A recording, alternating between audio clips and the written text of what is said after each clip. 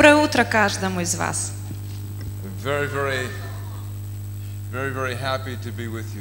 Очень-очень счастлив быть сегодня с вами. Uh. Очень была замечательная иде- э, неделя со студентами МГБИ в институте. Смотря в зале, я вижу некоторых студентов, которые были в классе. But I wish you were all there Но я бы хотел, чтобы каждый из вас был в классе на уроках. Потому что каждому из нас необходимо учиться, как служить Господу. I've appreciated uh, uh, so much uh, this week the hospitality Я очень благодарен за ваше гостеприимство, that uh, my wife and I have enjoyed here in Odessa. что мы могли э, насладиться тем временем, которое мы проводим в Одессе, с, я и моя жена. Let me introduce my, my wife of, uh, of 46 wonderful years, Kasiani. А, Позвольте мне представить мою чудесную жену, которая много лет уже со мной. And uh, we've uh, been so grateful to Pastor Val and Tatiana, И мы очень благодарны пастырю Валентину и его супруге Татьяне, uh, uh, э, Саше и Ане. and of course others who have been so good to us during the week. И, конечно, каждому из тех, кто были очень добры к нам в течение этой недели. We, we touched upon many significant things in our course on Luke and Acts this week.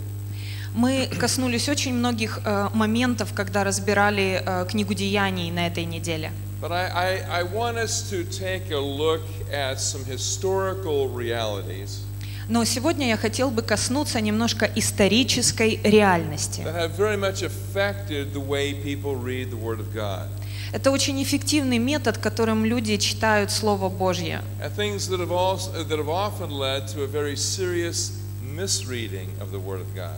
А, Потому что упуская эти моменты, получается очень много непониманий и ошибочных мнений э, в Писании. I want to give examples of this primarily from the book of Matthew, chapter 21. Я хочу дать вам э, пример этого э, из книги Матфея, 21 глава. Но до того, как мы коснемся 21 главы, я хотел бы дать исторический э, план. And let us pray. И давайте помолимся сначала. O God of Abraham, Isaac, and Jacob, Бог Авраама, Исаака и Якова, how grateful we are for who you are как благодарны мы за то, кто Ты есть, and how you are eternally committed to the salvation of Israel. И как Ты вечное спасение для народа Израиля. Мы благодарны Тебе, Господь, за то, что Ты любишь своих людей, евреев и неевреев. И всякое слово, всякое обещание, которое Ты дал Дому Израилеву, will indeed come to pass. А, да исполнится. Всякое обещание будет исполнено, потому что Ты Господь, который а, сдерживает свое слово. И мы берем сейчас несколько минут этим утром, чтобы иметь лучшее понимание Твоей истины, Господь, And may our own faith be inspired, Lord, и чтобы а, быть вдохновлены, Господь, to work more cooperatively with you towards the redemption of Israel. а, в хождении с Тобой и освободитель Израиля. Мы даем Тебе всю славу и благодарность во имя Ишуа. Amen. Амин. We know that when the Jewish Messiah came into first century Jewish world, А, Еврейский Мессия пришел в этот мир а, первом столетии.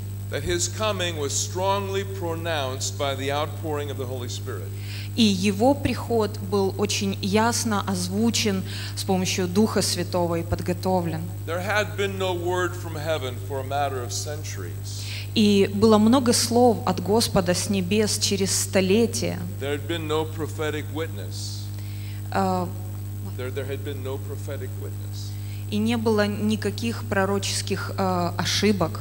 But suddenly, with the, with the arrival of uh, uh, the, the announcement of the birth of uh, John the Baptist, И в момент э, э, исторически рождения Иоанна э, Крестителя and of course with the birth of the Messiah Yeshua, и в момент рождения Иешуа, Мессии, there was extensive witness of the Spirit. была очень большая а, жажда и нужда а, в духе. God was moving again on his people Israel. А, He was Бог- Он снова начал двигаться через людей в Израиле. And prophetic testimony was coming И было высвобождено пророческое слово. that God was again visiting his people. И Бог снова посетил свой народ. And the Messiah of Israel had come. О том, что Иешуа, Мессия, а, Спаситель должен прийти. И Царство Божье приблизилось. И все, что написано в еврейской Библии, finally now Israel, through the Messiah Yeshua, наконец-то можно было увидеть через Иешуа Мессию. would not only receive all the blessings of God, Можно было принять не только все благословения Божьи, но также можно было достигнуть своего призвания, своей судьбы в Господе. whi- which is in fact God's use of Israel to impact the whole world for the gospel. А, Как э, его великий план использовать Израиль для того, чтобы достигнуть весь мир. Israel had already been very much engaged in reaching out to non-Jews, А, Израиль был использован для того, чтобы достигать неевреев. and thousands upon thousands of Gentiles had actually come into Judaism in the first century. И очень многие из неевреев а, пришли в иудаизм через израильтян. We read in the book of Acts uh, and also, of course, in the Gospels Мы читаем в книге Деяний и также в других писаниях,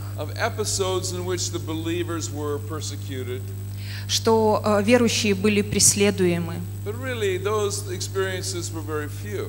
Но на самом деле эти э, моменты были не такие яркие, и- и их не было так много. We, we Мы забываем о том, что творилось на самом деле в книге Деяний. И забываем о тех свидетельствах, как они ходили и достигали разные страны и разных направлениях достигали людей. А, Преследование, э, верующих в Мессию было не постоянным, а краткими периодами. And the relationship between the, uh, the Jewish people and the Jewish believers and non Jewish believers И отношения, которые были между евреями и евреями, верующих в Мессию, и неевреями, uh, generally speaking, was very, very good. на самом деле в большинстве своем были очень хорошими. And the Gentile believers understood И нееврейские верующие, неевреи понимали, people. что они имеют радость двигаться с еврейским народом, They, they что они могут играть в одной команде с еврейскими верующими, что они могут славить Бога небес здесь на земле,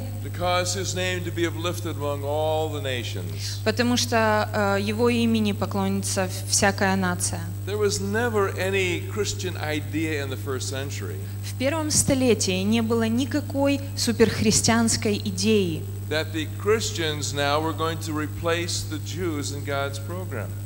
что а, мы, христиане, немножко подвинем евреев из Божьей программы. Or that the church somehow now had superseded Israel. Или что церковь теперь имеет более главенствующее место перед Израилем.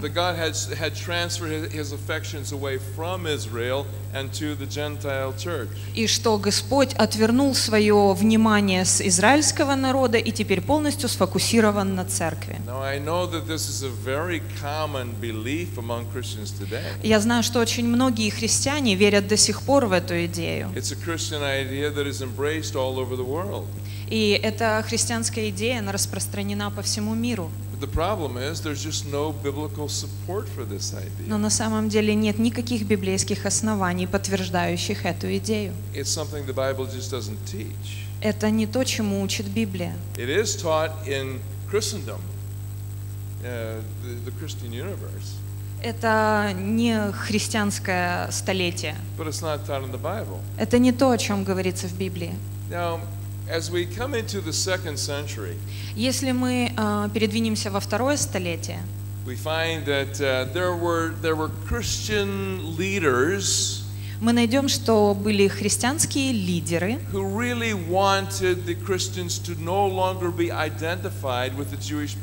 которые очень бы хотели, чтобы все, что связано с христианством, не было связано с евреями. And so, uh, uh, people uh, like Justin Martyr, for example, И люди, э, как Джастин Мартин, например, uh, in, uh, created a new kind of theological idea создали новый вид теологич- теологической идеи, that said that uh, the Jews had had their opportunity and they had uh, blown their chance.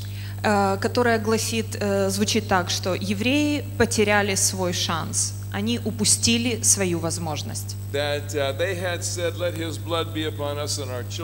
Они сказали фразу «пусть его кровь будет на нас и на наших детях». И Бог разгневался и теперь ненавидит евреев. И Он умыл свои руки от них. А теперь Он имеет новых людей Божьих. There was a new law of God. И теперь есть новый закон Божий. There was a new elect people. И теперь новый э, вид людей.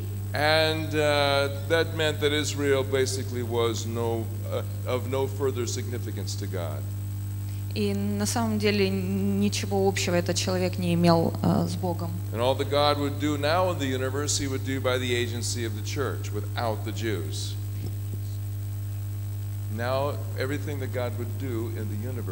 И теперь все, что Господь будет делать во Вселенной, he would do uh. Он будет делать только через свою возлюбленную церковь и ни в коем случае не через евреев. Now, th- this was an idea that, uh, that caught on very slowly in the Christian world. Э, Послушайте, эта идея очень медленными шагами завоевывала свое влияние в христианском мире. Let's remember now that the Bible is a Hebrew book.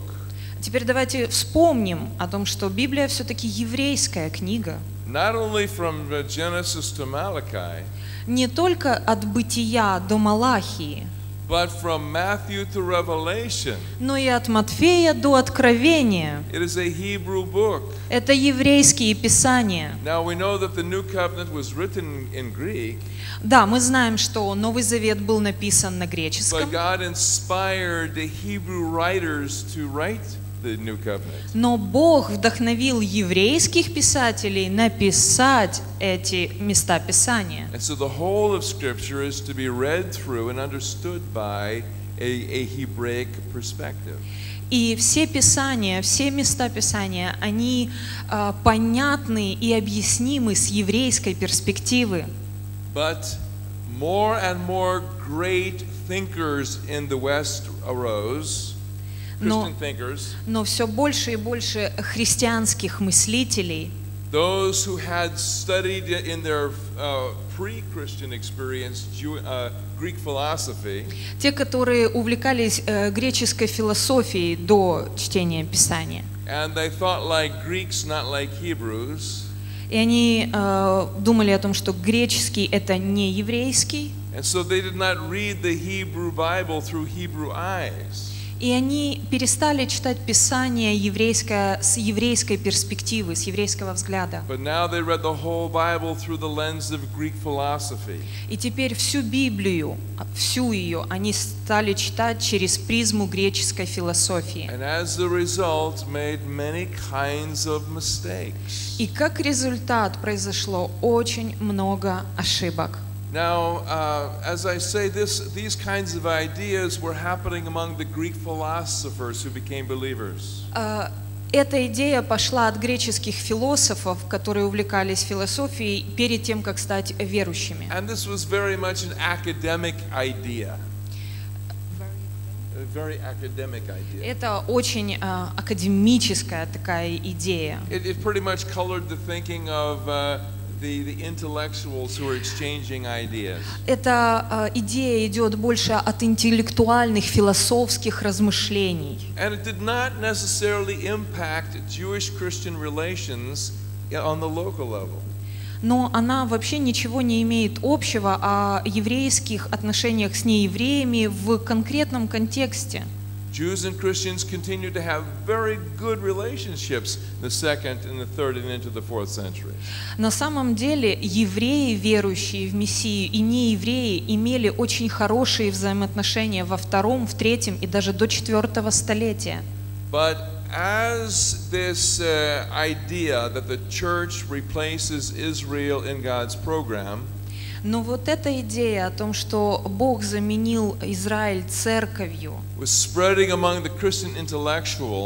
она начала просто распространяться в христианских э, умах. И больше и больше начала раскрашиваться красками христианства. um, the influence became greater.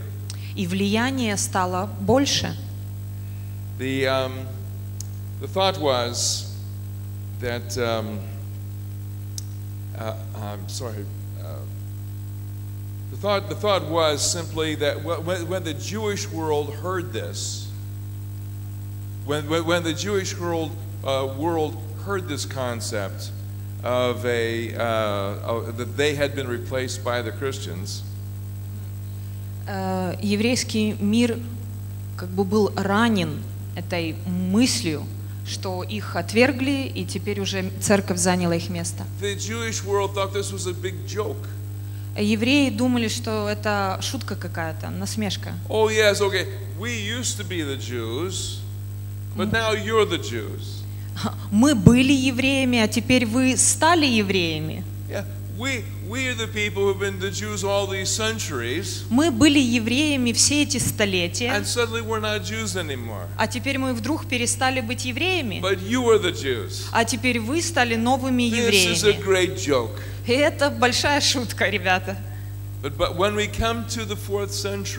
Но когда мы приходим с вами к четвертому столетию, теперь это перестало быть таким смешным. It's not a joke anymore. И это больше не выглядит как шутка. Because now Christianity is accepted as not only a legal religion, Теперь христианство занимает позицию не просто легальной религии, And, and Christianity not only holds the Council of Nicaea in year 325, Constantine holds the Council of Nicaea in, uh, it's a city, in, uh, in uh, 325.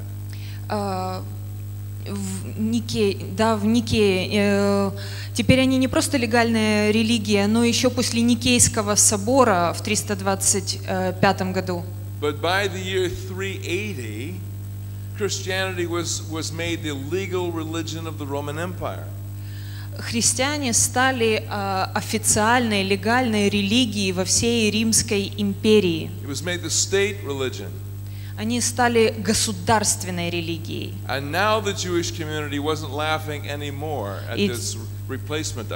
И теперь э, евреи перестали смеяться над этой идеей замещения. Because now it appeared that Jews would be made expendable. Потому что сейчас настали времена, когда евреев просто отвергали, отрекались от них. Э, Еврейский мир испытывал э, большие атаки. А Христианское мышление просочилось в римский закон.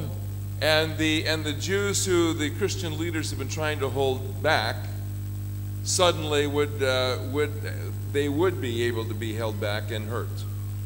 А, Но теперь еврейских э, лидеров, христиан, их просто отодвигали, и на самом деле они уже не имели того влияния. It was in response to the supersessionism or replacement theology А, uh, where it, it- it's, in, it's in reaction to Christian idea, the Christian idea that the church has replaced Israel, И мы видим христианскую реакцию на вот эту теорию замещения церкви и Израиля. which is, which is without biblical support. А на самом деле она не имеет никакого библейского основания. I mean. Покажите мне хотя бы одно место Писания, где говорится о том, что церковь Новый Израиль. А, Покажите мне, что а, теперь Новый Израиль не имеет никакого отношения к историческим евреям, и что Бог не возвращается к своим обещаниям, которые давал Аврааму, Исааку и Якову. Uh. Это а, чистой воды фаль- фальсификация.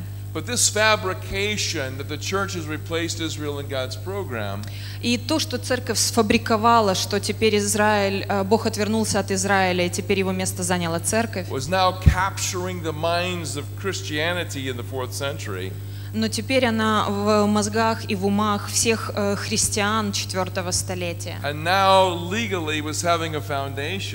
И теперь легально они могут э, закладывать основания.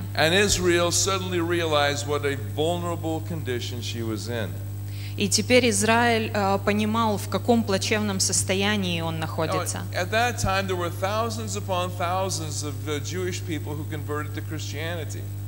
И в это время очень много, тысячи тысяч евреев, которые становились христианами. They said, "Well, you see, uh, Yeshua has uh, won the battle. He, he has he has uh, won the victory." А, Они говорили, Иисус, э, Иешуа э, имел э, победу, I mean, they say that he's the king of the world. Он царь мира. Well, now he's the king of the Roman Empire. Ну, теперь, значит, он царь Римской империи. So uh, maybe this is the future. Может быть, в этом будущее? This is where we all need to go. Может быть, э, таким путем нам надо всем идти? И тысячи и тысячи евреев отрекались от своего еврейства и становились христианами в четвертом столетии.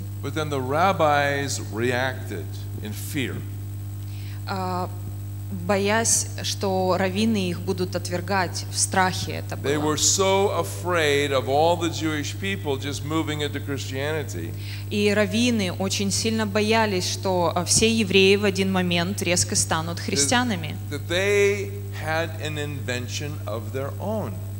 И а, они переживали, что всех потеряют.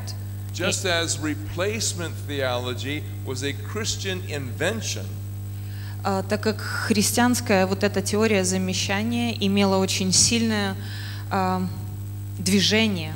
the rabbis had a religious invention for the Jews.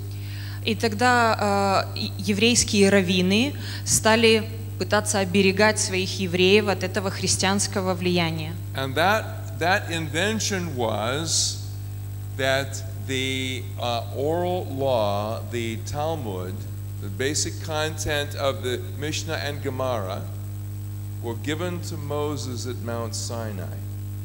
И э, свою теорию раввины э, основывали на том, что давайте вернемся к тому закону, который истинный для нас. Это закон Моисея, который он получил на горе Синай, Мишну и Гамору, то есть все святые писания, что у нас есть. Давайте двигаться только в этом законе.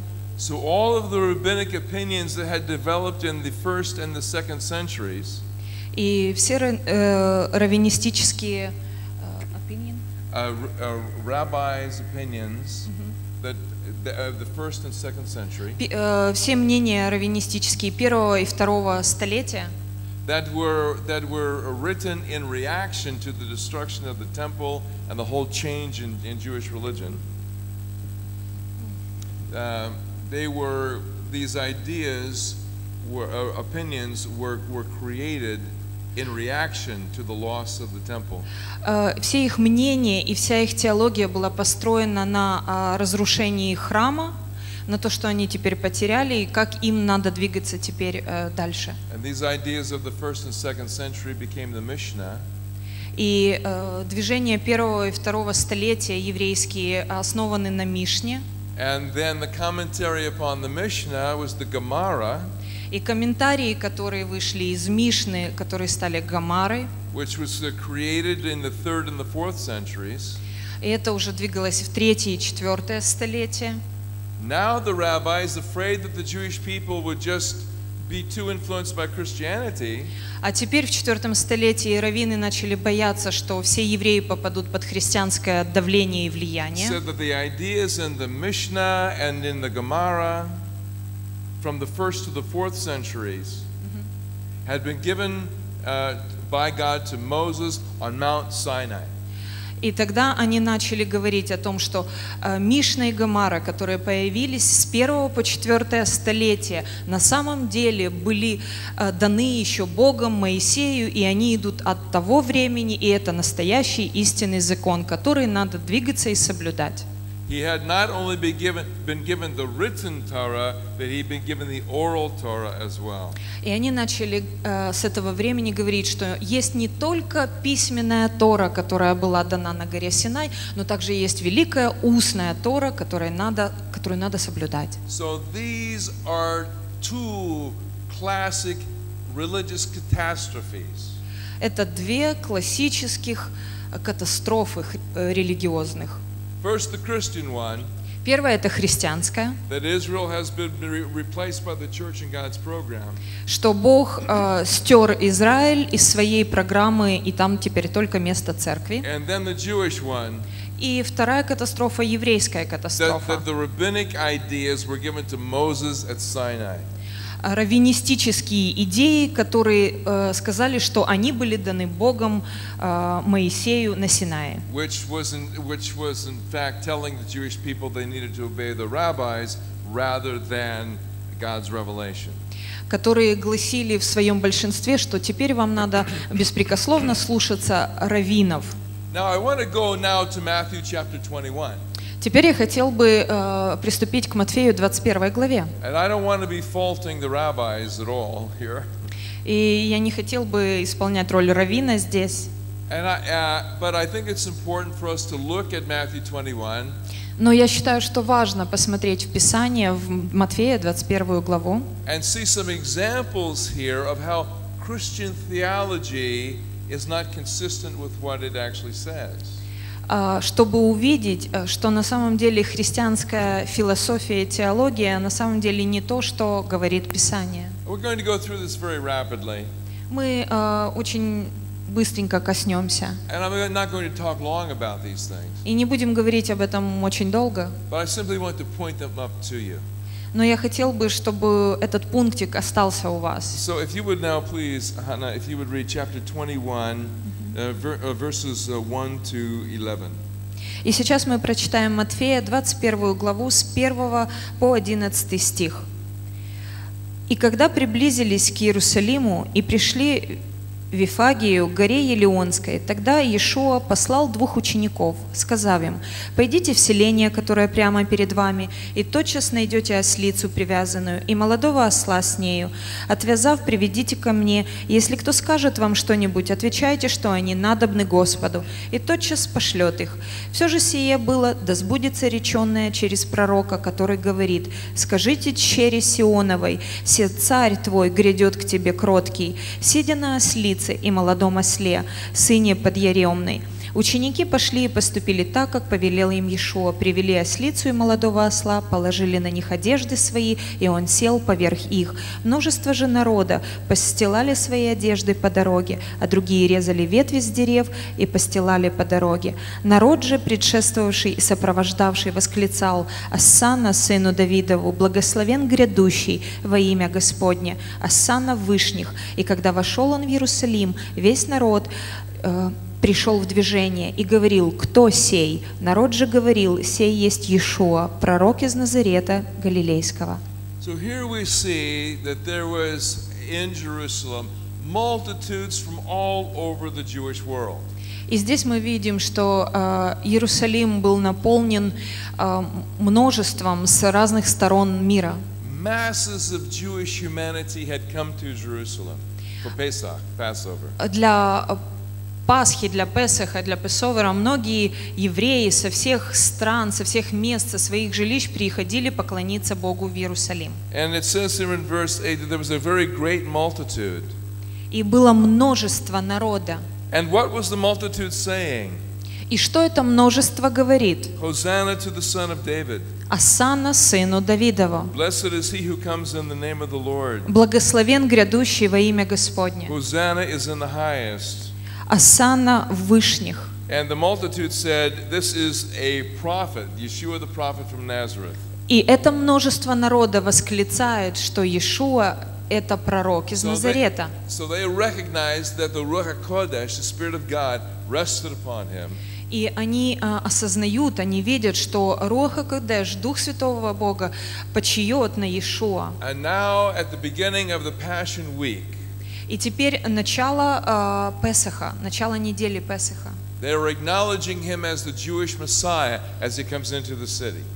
И они осознавали, что идет еврейский Мессия, когда он входил в город. Now, the point I simply want to make here И э, момент, который я хотел бы заострить внимание, is that often uh, Christian teachers will say, а, то, что часто говорят христианские учителя, The very people who are welcoming him into Jerusalem in this passage Ам, те люди, которые приветствовали его в этом месте Писания, are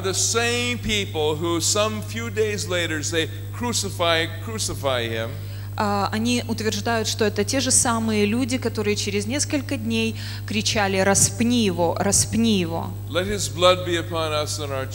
И повторяли эту фразу «пусть его кровь будет на нас и на наших детях». And they use this to try to make the Jewish masses look like terrible people. И они используют это для того, чтобы создать нам картину евреев как э, жутких, ужасных людей. Тут они поклонялись Богу, а тут они уже кричат «распни его». But I, but I can tell you where those words were spoken, Но я скажу вам, где эти слова были сказаны. it was a court that would hold no more than 200 people. Э, Эти слова э, «распни его, и пусть его кровь будет на нас» было сказано в том месте, где больше, чем 200 людей не вместится. Это было сказано э, за закрытыми дверями. Это было сказано очень близко к Синедриону. А весь еврейский народ спал в Иерусалиме. They, you know, they'd had four glasses of wine the night before. You know? Они выпили четыре бокала вина в Песах вечером до этого, и они все спали. They were still asleep. They didn't know what was happening. Они спали, и они не знали, что происходило. It was the religious leadership Это было э, религиозное лидерство, вот этот костяк религиозных евреев, who wanted nothing to change. Которые не хотели никаких изменений. Это не было еврейское множество, которое было... Они, это еврейское множество даже So- ничего не знало об этом. uh, Matthew 21 Тех людей, которых мы видим с вами в начале 21 главы Матфея, это не те, которые говорили э, эти слова позже, распни его. Now, as we go through Matthew 21 very rapidly, И если мы будем двигаться через Матфея 21 главу, we will see that there is a great dichotomy or a great distinction made between the religious power brokers and the common folks. People. мы, а, если будем читать 21 главу, мы увидим конкретное разделение, очень большой а, разрыв между религиозным а, меньшинством, лидерами и всей основной массой, израильским народом.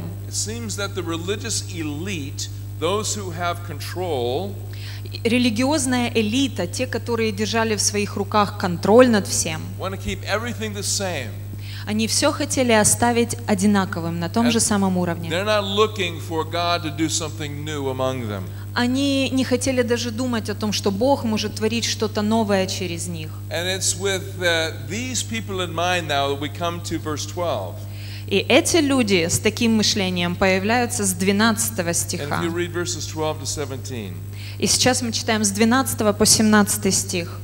И вошел Иешуа в храм Божий, и выгнал всех продающих и покупающих в храме, и опрокинул столы миновщиков и скамьи продающих голубей, и говорил им, написано, «Дом мой домом молитвы наречется, а вы сделали его вертепом разбойников». И приступили к нему в храме слепые и хромые, и он исцелил их. Видев же первосвященники и книжники чудеса, которые он сотворил, и детей, восклицающих в храме и говорящих «Асана, сыну Давидову», вознегодовали и сказали ему, «Слышишь ли, что они говорят?» Ишуа же говорил им, «Да, разве вы никогда не читали из уст младенцев и грудных детей ты устроил хвалу?» И оставив их, вышел вон из города в Вифанию и провел там ночь. Now, we, we see in, uh, that the chief priests and the scribes are offended by the good things that are happening in the temple. Мы видим, что эта религиозная элита вознегодовала на те благие, хорошие вещи, на те чудеса, которые произошли в этот момент в храме. И это не то, что они расстроились, что столы менял были опрокинуты. but then the, uh, the blind and the lame came to him in the temple and he healed them. Но Иешуа сотворил чудеса, а, исцелил слепых, которые были в храме.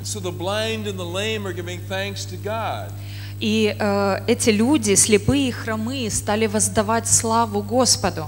And, uh, and uh, he is being faulted for blessing the lame and the blind, uh, the, the, uh, the lame and the blind.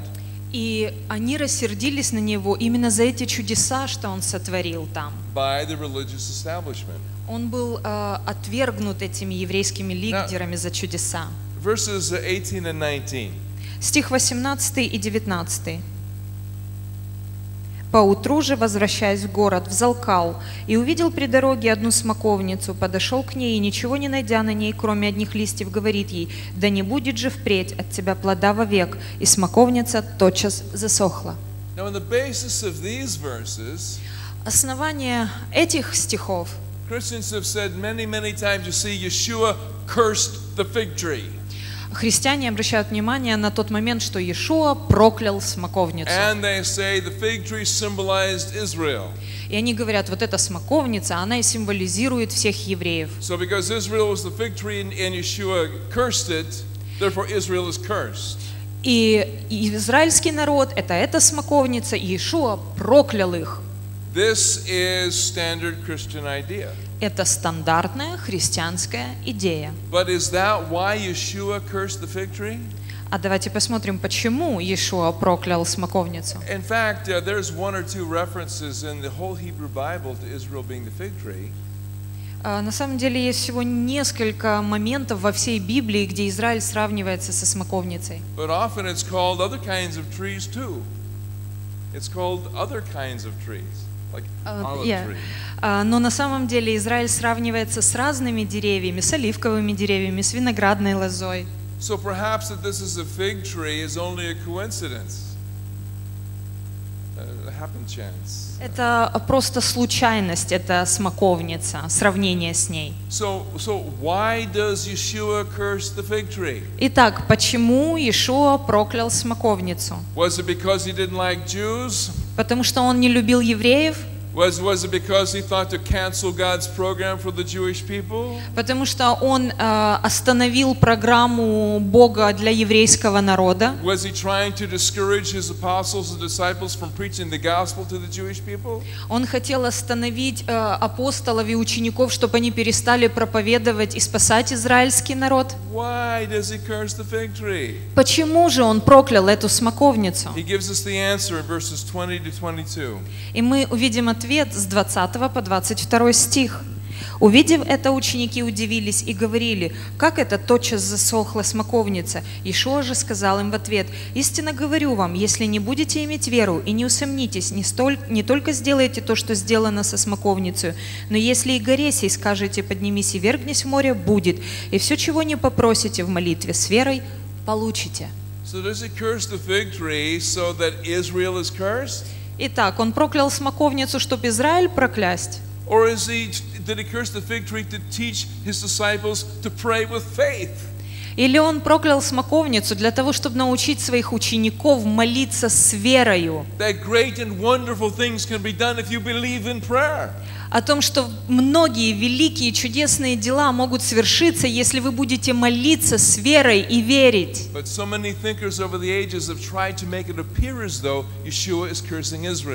Но очень многие концентрировали свое внимание на том, что здесь Иешуа проклял Израиль. Иешуа не проклинал Израиль. На этой же самой неделе Иешуа пошел на крест, чтобы умереть и принести себя в жертву за всех сынов Израиля. Он имел великую любовь к своему народу. Now, uh, Yeshua's authority is questioned in uh, verses 23 to 27. Иешу, э, власть Иешуа мы можем увидеть с 23 по 27 стих. «И когда пришел он в храм и учил, приступил к нему первосвященники и старейшины народа и сказали, «Какую властью ты это делаешь? И кто дал тебе такую власть?» Иешуа сказал им в ответ, «Спрошу и я вас об, об одном. Если о том скажете мне, то и я вам скажу, какой властью это делаю. Крещение Иоаннова откуда было? С небес или от человеков? Они же рассуждали между собою. Если скажем с небес, то он скажет нам, почему же вы не поверили ему? Если сказать от человеков, боимся народа, ибо все почитают Иоанна за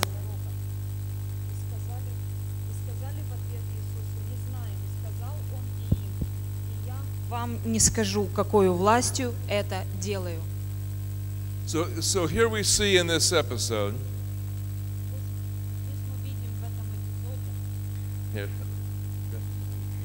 Я- Здесь мы видим в этом эпизоде, that, that the leaders of Israel or the, or the, the, the religious establishment is challenging Yeshua's authority.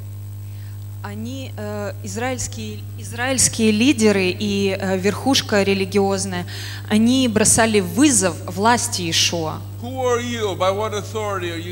things? Кто ты такой? И чьей властью ты все это делаешь? Says, И он сказал, я отвечу вам, если вы ответите мне. Итак, откуда же было э, крещение Иоаннова? От с небес или от человеков? Это очень стратегический вопрос, because Yeshua himself had submitted to the baptism of John.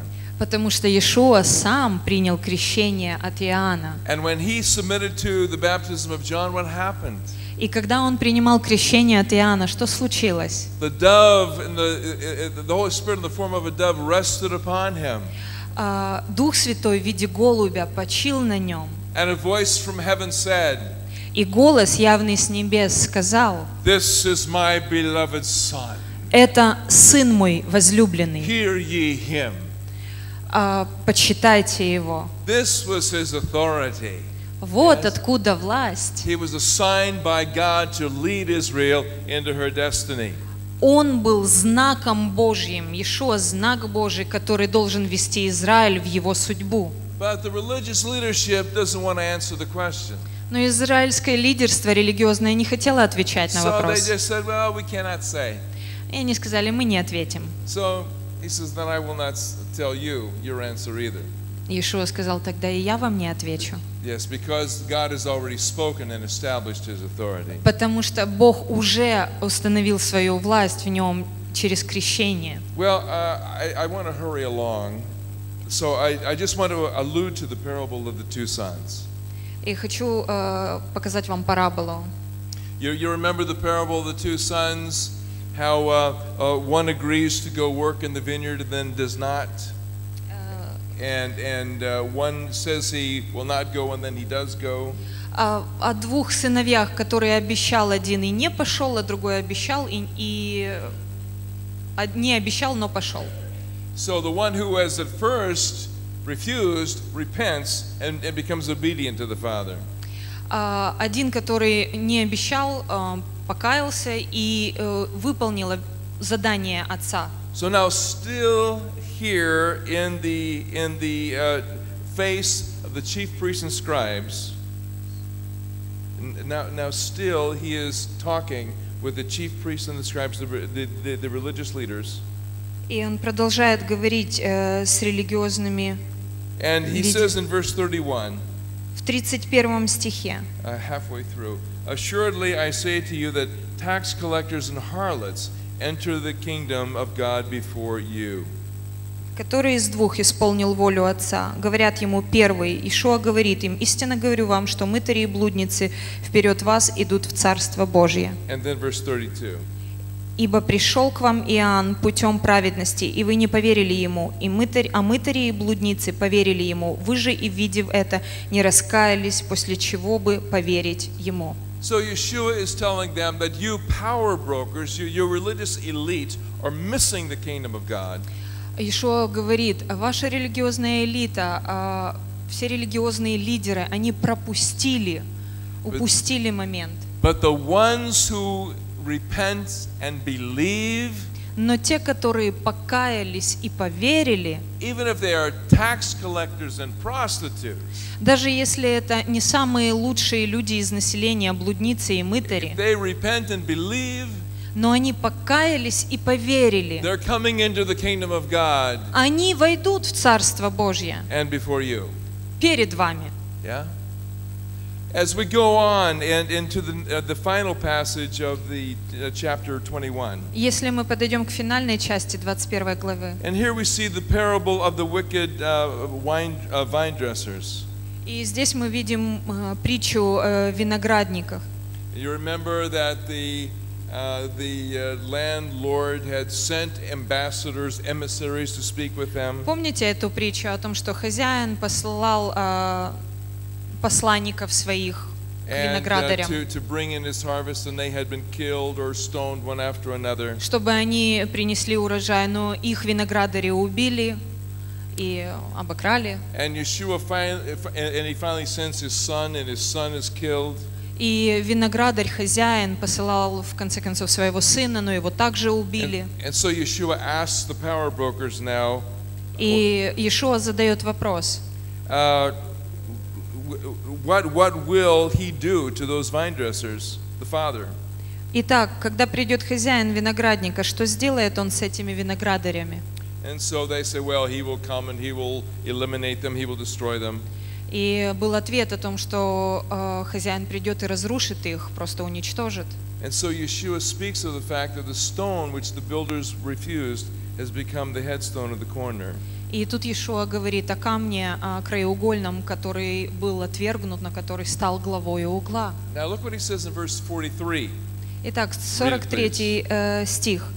«Потому сказываю вам, что царство отнимется от вас Царство Божие, и дано будет народу, приносящему плоды его. read, read 44 as well. И тот, кто упадет на этот камень, разобьется, а на кого он упадет, того раздавит». So Yeshua is saying to the chief priests and the scribes Иешуа – это наш главный первосвященник. that the kingdom of God will be taken away from you И он говорит, что Царство Божье отнимется от вас and given to someone else, и будет отдано кому-то другому, bearing the fruits of it. тому, кто приносит плоды. The question is, who is the someone else? Вопрос, кто это кто-то другой? Christian theologians over the centuries Христианская теология через все столетия говорит о том, что Бог забирает Царство Божье от евреев, uh,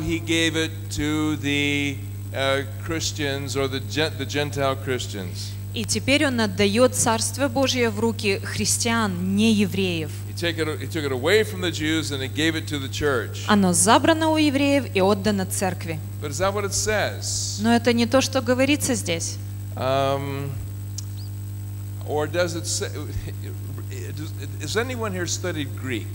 Здесь кто-нибудь есть, кто изучал греческий? Anybody studied Greek here? One lady. Well, one, well, okay, let me ask you. Позвольте мне спросить вас. This is your final examination on Greek right now. Это ваш экзамен по греческому. Okay. Uh, is there in Greek an indefinite article? Indefinite article as opposed to which, which is like uh, a, like a boy, instead of the boy. The boy would Yeah, be yeah. definite, a would be Есть indefinite. ли в греческом неопределенный артикль?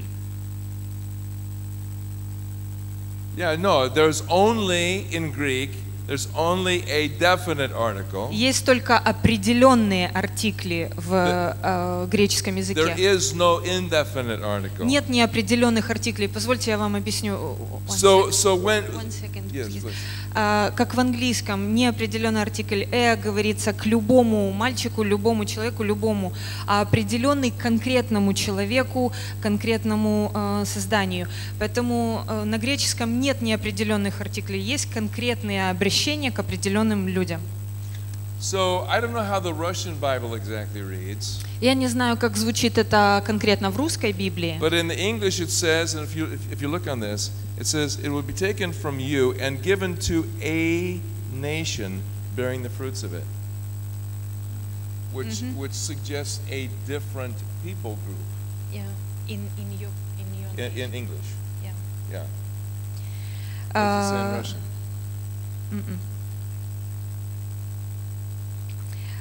It's not uh, from you. It's not taken from you. What does it say? Э, Хорошо. Э, В английском это говорится о том, что заберется Царство Божье конкретно от вас и, дац- и дастся нации, которая будет приносить плоды. Anyway, the point of what I'm trying to make is А момент, который я хотел бы сакцентировать здесь, that that Yeshua is not suggesting that the gospel or the kingdom is taken away from the Jews. Иешуа не говорит о том, что Царство Божие будет забрано от евреев, That the gospel is taken away from Israel. э, от Израиля. He is saying rather the gospel eh, or the kingdom is taken away from the unrepentant. Он говорит, что Царство Божье будет забрано от вас, от тех, кто не покаялся, от неверующих будет забрано, от тех, кто отвергают Бога, отвергают откровение о Боге, God. отвергают власти э, Духа Божьего. And he's saying that the kingdom will be taken away from the unbelieving religious elite И тут он говорит, что Царство Божье будет забрано от вас, религиозная израильская элита, and it- it's going to be given to people who are, I mean, it'll be given to the people who do respond in faith. и оно будет отдано тем, кто исповедует веру, кто покаялся. Even if they are tax collectors and prostitutes, as we saw. Даже если это были мытари, проститутки и имели плохое прошлое. Now, when Yeshua talks about uh, the, the tax collectors and prostitutes, И когда Иешуа говорит о мытарях и проститутках, in the context of this chapter, в контексте этой главы, is he talking about uh, Jewish tax collectors and prostitutes or Gentile tax collectors and prostitutes? говорит ли он здесь о еврейских мытарях и э, проститутках, или говорит о нееврейских мытарях и проститутках? He's talking about uh, Jewish tax collectors and prostitutes. А логично размышлять о том, что он обращается к еврейским. So, so when he says the Людям. gospel is going to be, uh, uh, or the kingdom will be taken from you and given to these, И он говорит, что Царство Божье будет забрано от вас, религиозная элита, и he's saying этим. it, it's going to be, it's, uh, the, uh, the kingdom will be taken from the religious elite and given to the common Jewish people.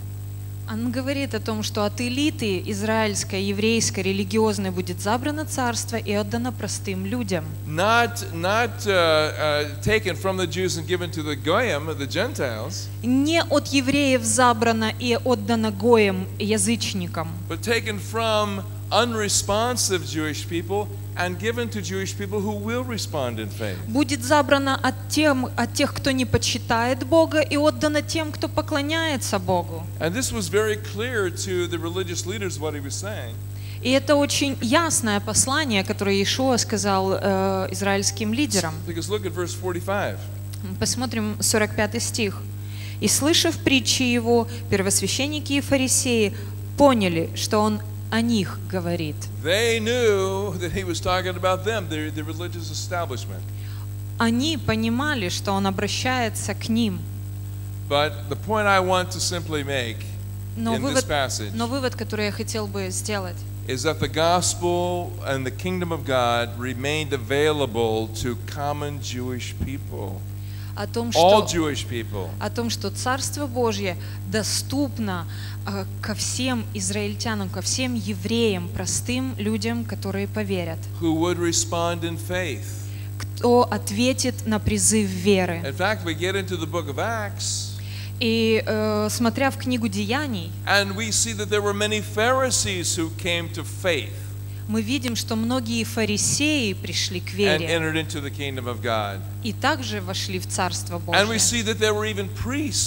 who came to faith И мы также видим священников, которые пришли к вере и вошли в Царство Божье.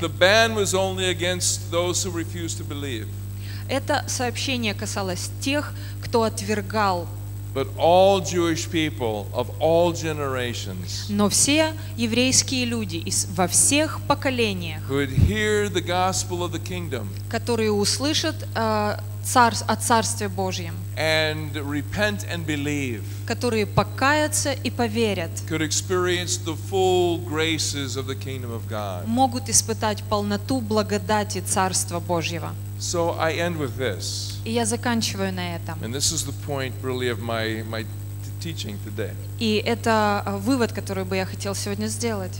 Let's reject this idea that God has rejected the Jews. Давайте отвергнем в сердцах эту идею, что Бог отверг евреев. I mean, the Apostle Paul says in chapter 11, the first verse and a half there, А Апостол Павел говорит, two times in a verse and a half, he says, God has not rejected his people. а дважды в одном и том же стихе апостол Павел говорит о том, что не отверг Ишуа свой народ. I say the Apostle Paul is right, И я думаю, что апостол Павел прав. and all the Christian theologians all through the past 1800 years И вся христианская философия и теология в течение всех этих 18 столетий, которая утверждает, что Бог отверг свой народ и отверг израильский народ, что Бог не спасает больше израильский народ. Теперь надо беспокоиться о спасении всех остальных. This is a, a classic Christian idea, Это классическая христианская идея, but it is completely foreign to what thus says the Lord. но это а, очень прим- It's foreign to what God says. но это абсолютно не соответствует тому, что говорит Господь. God's passion for the salvation of Israel Божья страсть о спасении израильского народа так же сильна, как и сильна была тогда. И любовь Иешуа к еврейскому народу так же сильна, как и всегда была сильной. And the Spirit of God who moved upon Israel in Acts chapter 2 И Дух Божий, который двигался э, над израильским народом в Деянии 2 главе, также готов двигаться сегодня над всем израильским народом. Let us be believers. Давайте будем верующими. Let's embrace what the Bible says Давайте будем верить в то, что говорит Библия. and work together for God for the, for the salvation of all Israel in our day. И давайте верить и делать то, чтобы весь Израиль спасся в сегодняшние дни. Аминь.